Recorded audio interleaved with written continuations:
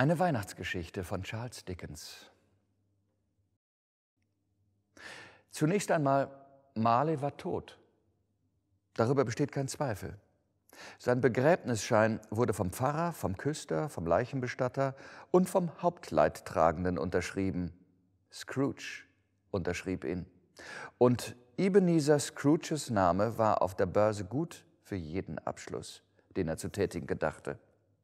Der alte Marley war so tot wie ein Türnagel. Ob Scrooge wusste, dass er tot war? Ja, natürlich wusste er das. Wie konnte es anders sein?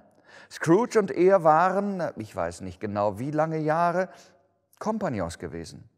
Scrooge war sein alleiniger Testamentsvollstrecker, sein alleiniger Nachlassverwalter, sein alleiniger Rechtsnachfolger, sein alleiniger Nachvermächtnisnehmer, sein alleiniger Freund und der einzig Leidtragende.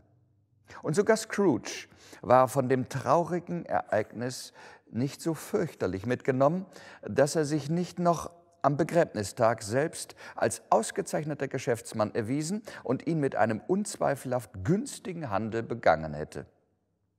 Er war ein knausriger Kerl und Leuteschinder. Ja, das war er, Scrooge ein habgieriger alter Sünder, der gar nie genug herauspressen, herausquetschen, an sich raffen, zusammenkratzen, eisern festhalten konnte. Hart und kantig wie ein Feuerstein, aus dem aber kein Stahl je einen großmutigen Funken geschlagen hatte, einsiedlerisch und schweigsam und verschlossen wie eine Auster.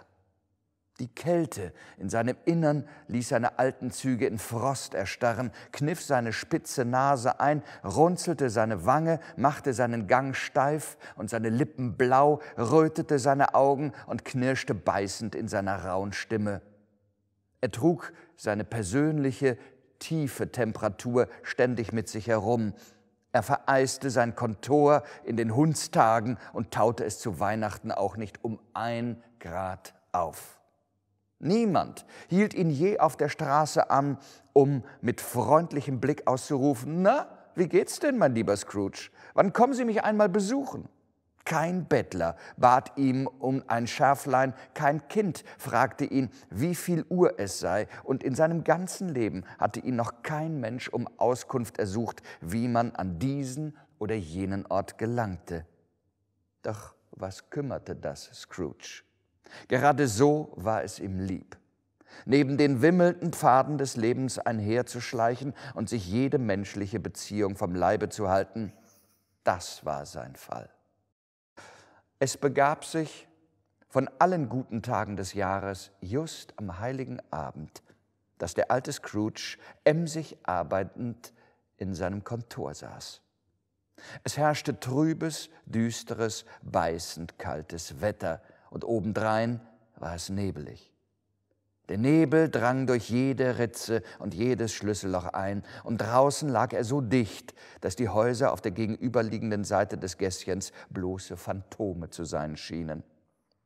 Die Tür von Scrooges Kontor stand offen, damit er seinen Kontoristen, Bob Cratchit, im Auge behalten konnte, der nebenan in einem trübseligen Kämmerchen, einer Art Wandschrank, Briefe kopierte.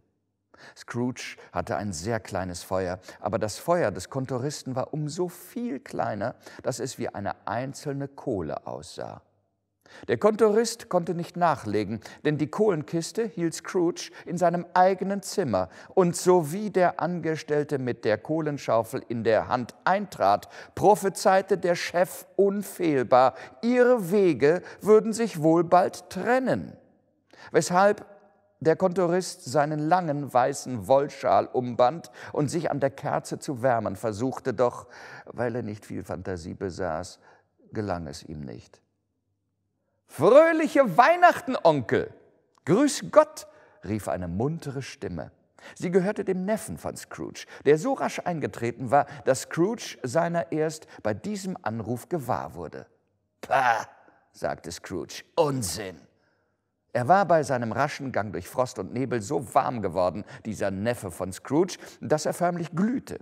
Sein hübsches Gesicht war gerötet, seine Augen funkelten und sein Atem dampfte. Weihnachten ein Unsinn, Onkel, rief der Neffe. Das meinst du doch nicht im Ernst. Doch, sagte Scrooge. Fröhliche Weihnachten.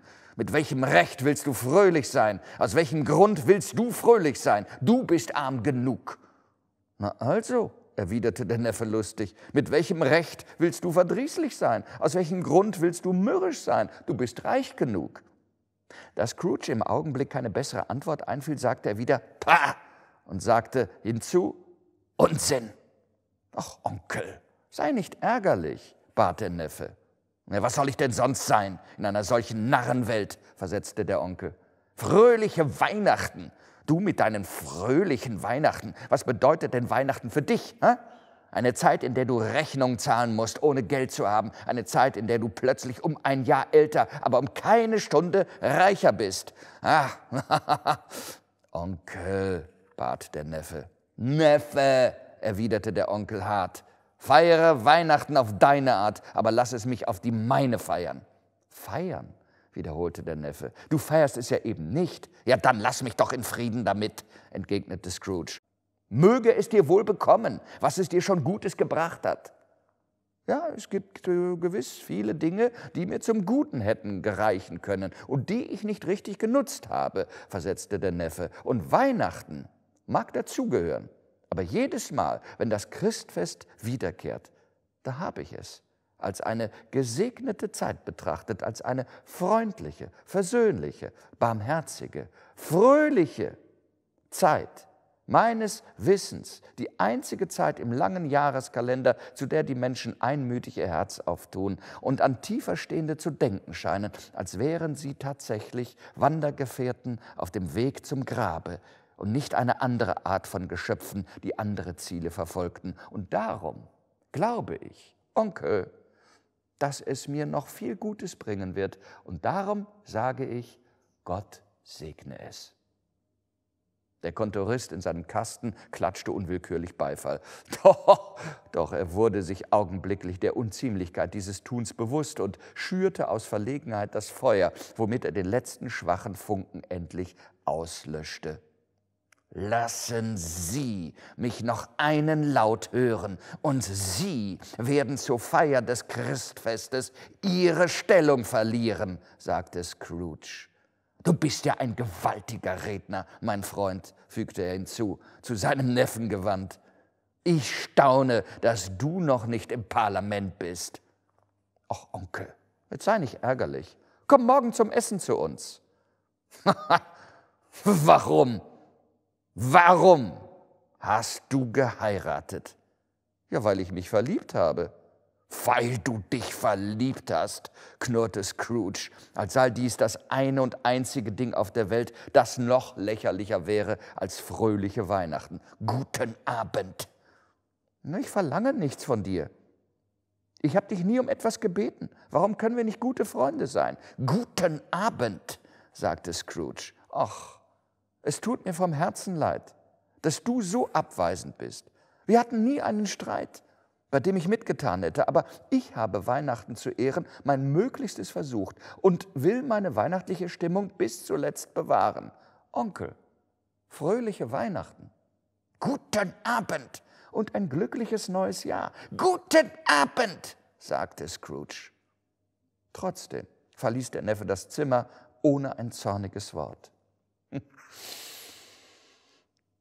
Inzwischen verdichteten sich der Nebel und die Finsternis dermaßen, dass draußen Leute mit brennenden Fackeln herumliefen und den Kutschern ihre Dienste anboten, nämlich vor den Pferden herzugehen und ihnen den Weg zu weisen.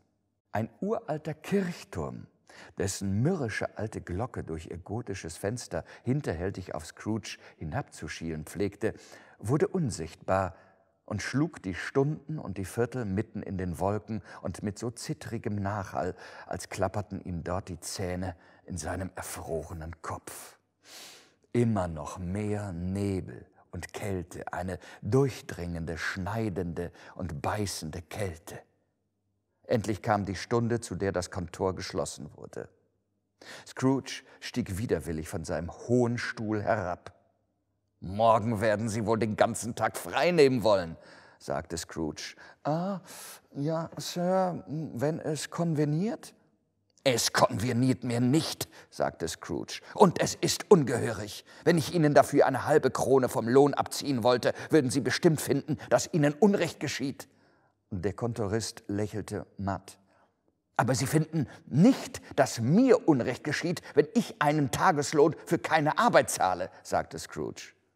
Der Kontorist bemerkte, dass es ja nur einmal im Jahr wäre. Eine schlechte Ausrede, um jeden 25. Dezember einen Menschen zu bestehlen, sagte Scrooge, während er seinen dicken Mantel bis zum Kinn zuknöpfte. Aber ich muss Ihnen wohl den ganzen Tag geben.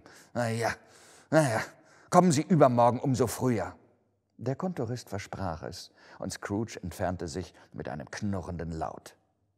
Er, Scrooge, nahm sein trübseliges Mahl in seiner gewohnten trübseligen Kneipe ein und nachdem er alle Zeitungen gelesen und sich noch eine Weile lang mit seinem Bankbuch beschäftigt hatte, ging er nach Hause, um sich schlafen zu legen. Er wohnte in einer Wohnung, die ehemals seinem verstorbenen Kompagnon gehört hatte. Jetzt war das Haus alt und verödet, denn es lebte kein Mensch darin außer Scrooge. Alle anderen Räume waren als Büros vermietet. Die Gasse war so dunkel, dass sogar Scrooge, der hier jeden Stein kannte, sich mit den Händen weitertasten musste, und der eisige Nebel trieb sich so dicht vor dem alten schwarzen Haustor herum, dass es schien, als säße der Wettergeist in kummervolle Meditation versunken auf der Schwelle. Nun ist es Tatsache, dass der Türklopfer sich durch keinerlei Eigentümlichkeit auszeichnete, außer dass er sehr groß war. Es ist gleichfalls Tatsache, dass Scrooge ihn, seit er in dem Haus wohnte, Tag um Tag abends und morgens gesehen hatte. Und auch, dass Scrooge so wenig von dem besaß, was man gemeinhin Fantasie nennt. Und jetzt erkläre mir einer, wenn er kann, wie es kam, dass Scrooge, während er seinen Schlüssel ins Schloss steckte, in dem Klopfer plötzlich ohne jeden dazwischenliegenden Verwandlungsprozess keinen Klopfer sah, sondern Marleys Gesicht. Marleys Gesicht. Es lag nicht in undurchdringlichem Schatten wie die anderen Dinge in der Gasse, sondern leuchtete in einem trüben Licht.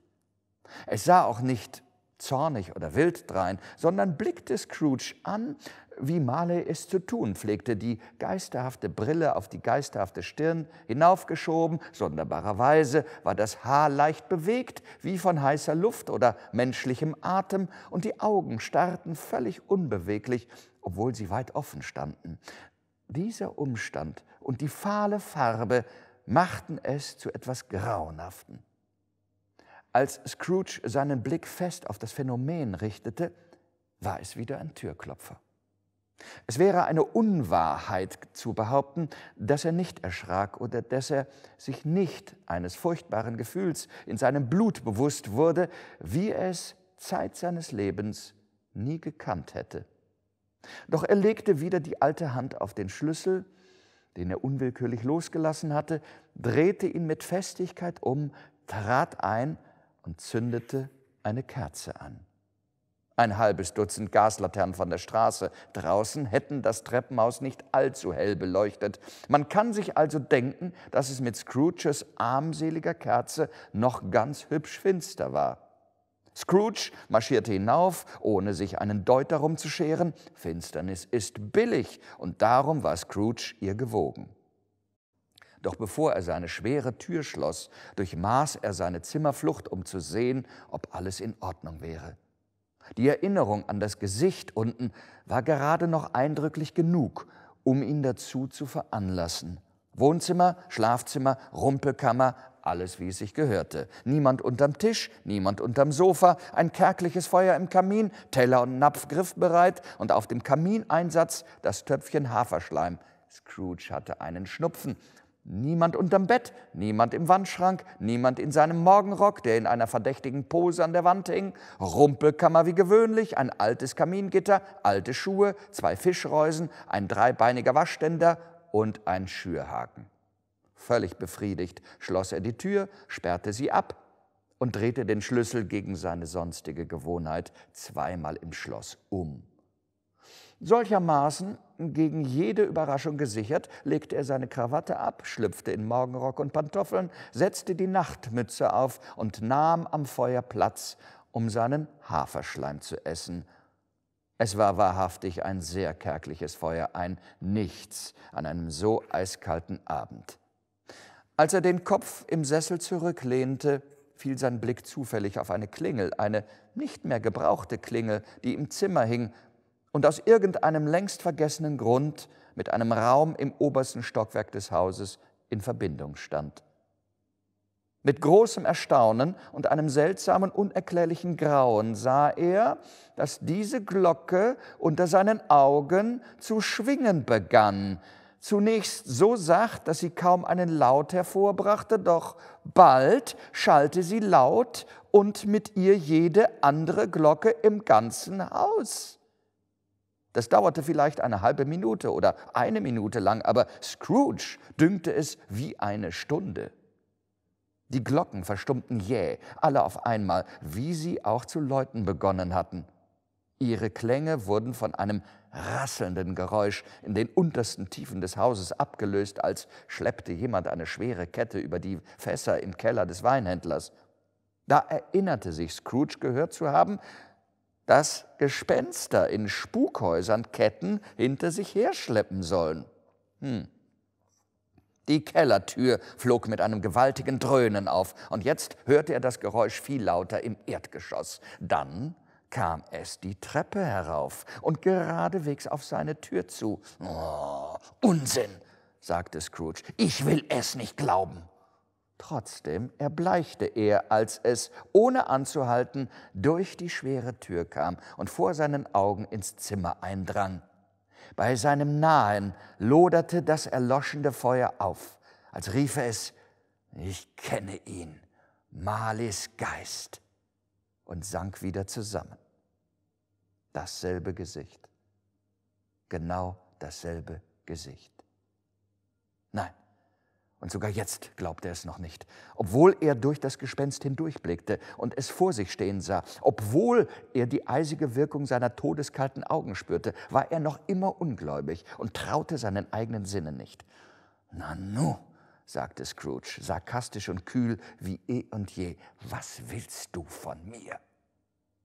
Viel. Marleys Stimme, daran war nicht zu zweifeln. Wer bist du? Na, frag mich, wer ich war. Wer warst du also? sagte Scrooge, die Stimme anhebend. Für einen Schatten nimmst du es ja genau. Im Leben war ich dein Kompagnon, Jacob Marley. Kannst du, kannst du dich hinsetzen? fragte Scrooge mit zweifelndem Blick. Ja, das kann ich.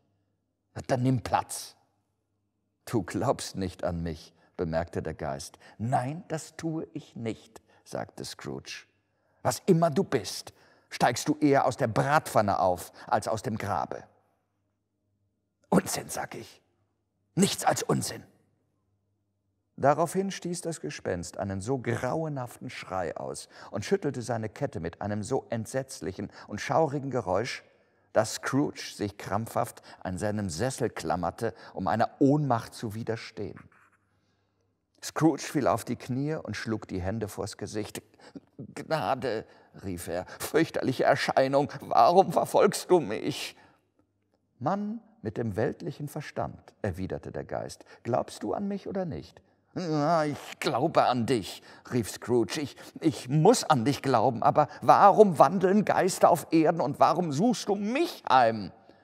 Von jedem Menschen wird gefordert, versetzte der Geist, dass der ihm innewohnende Geist unter seinem Mitmenschen umherwandere, weit und breit, und wenn der Geist es im Leben nicht tut, ist er dazu verurteilt, diese Pflicht nach seinem Tode zu erfüllen. Er ist dazu verdammt, durch die Welt zu ziehen, um als stummer Zeuge mit anzusehen, woran er nicht mehr teilhaben kann, woran er aber in seinem Erdenlauf hätte teilnehmen können und sollen um es zum Guten zu wenden. Wieder entrang sich dem Gespenst ein lauter Schrei und es rasselte mit seiner Kette und rang verzweifelt seine schattenhafte Hände. Na, du bist gefesselt, murmelte Scrooge zitternd. Sag mir warum. Ja, Ich trage die Kette, die ich im Leben schmiedete, erwiderte der Geist. Ich schuf sie Glied um Glied, Elle um Elle. Ich legte sie aus eigenem freiem Willen um und trug sie aus eigenem freien Willen. Ist dir das Gefüge genug? Scrooge zitterte mehr und mehr. Oder möchtest du wissen, wie lang und gewichtig die starke Kette ist, die dich selbst umwindet? fuhr der Geist fort. Vor sieben Weihnachtsabenden kam sie dieser hier an Gewicht und Länge gleich, und seither hast du daran wacker weitergeschafft. Es ist eine gewaltige Kette. Oh, Jacob, rief er flehend, sag mir mehr, mein alter Jacob Marley, sprich mir Trost zu, Jacob. Den kann ich dir nicht schenken, erwiderte der Geist. Er kommt aus anderen Regionen, Ebenezer Scrooge, und wird von anderen Mittlern und Menschen anderer Art gewährt. Du warst doch immer ein guter Geschäftsmann, Jacob, stammelte Scrooge. Geschäft, rief der Geist händeringend. Die Menschheit wäre mein Geschäft gewesen, das allgemeine Wohl wäre mein Geschäft gewesen, Mitleid, Barmherzigkeit, Nachsicht, Wohlwollen, dies alles wäre mein Geschäft gewesen. Meine beruflichen Unternehmungen waren nur ein Tropfen im grenzenlosen Ozean meiner Geschäfte. Höre mich, rief der Geist, meine Zeit ist fast um. Ja, ich höre, sagte Scrooge, aber sei nicht so hart zu mir. Dies ist kein geringer Teil meiner Buße, fuhr der Geist fort. Heute Nacht bin ich hier, um dich zu warnen und dir zu sagen, dass du noch eine Möglichkeit und eine Hoffnung hast, meinem Los zu entrinnen. Eine Möglichkeit und eine Hoffnung, Ebenezer, die ich dir erwirkte. Ach, danke vielmals, sagte Scrooge. Du warst mir immer ein guter Freund. Du wirst von drei Geistern heimgesucht werden, fuhr das Gespenst fort. Erwarte den ersten Morgen, wenn die Glocke die erste Tagesstunde schlägt. Erwarte den zweiten in der darauffolgenden Nacht zur gleichen Stunde und den dritten eine Nacht später, wenn der letzte Schlag der zwölften Stunde verhallt ist. Mich wirst du nie wieder erblicken. Sieh um deiner selbst willen zu, dass du dich an dieses Gespräch erinnerst. Der Geist entfernte sich, rückwärts schreitend, von ihm. Scrooge folgte ihm in verzweifelter Neugier bis ans Fenster und blickte hinaus. Hm, die Nacht war wieder still, wie vorhin, als er nach Hause zurückkehrte. Scrooge schloss das Fenster und untersuchte die Tür, durch die der Geist eingetreten war. Sie war doppelt verschlossen, wie er es mit eigener Hand getan hatte, und die Riegel unberührt. Und da er sich infolge der Aufregung äußerst ruhebedürftig fühlte, ging er geradewegs zu Bett und sank, ohne sich erst auszukleiden, augenblicklich in tiefen Schlaf.